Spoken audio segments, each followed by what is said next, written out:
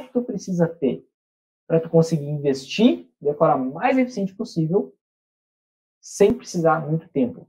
Tu precisa primeiro ter um método de investimento. O que significa um método de investimento? Não adianta nada. Olha só, toca comigo. Toca comigo. Imagina que tu quer fazer um bolo. Quer fazer um bolo, tá?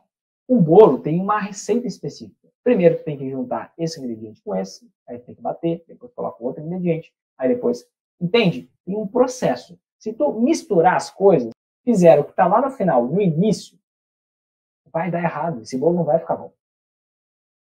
O que acontece com o investimento? Se tu não tiver um processo, um método de investimento que te dê clareza ao investir, tu nunca vai ter o resultado que tu espera.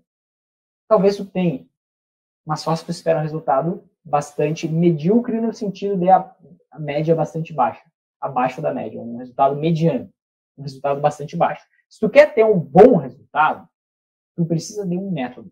Eu não estou nem falando sobre qual método, estou falando simplesmente de ter um método. Porque quando tu tem um método de investimento, tu tem clareza ao investir. O que isso significa eu ter clareza ao investir? O que eu faço quando as ações caem? Eu tenho que saber. Se eu sigo um método, eu sei o que tem que fazer. O que eu faço quando as ações subirem? Eu tenho que saber o que fazer. Se eu tenho um método, eu sei. Se eu não tenho, eu fico na apreensão. Uma das maiores apreensões que eu nunca esqueci na minha vida foi essa.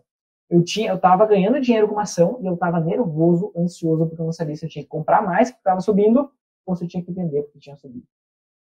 Por quê? Clareza, faltava clareza, faltava um método. Então, a primeira coisa, o primeiro passo é tu ter um método claro de investimento.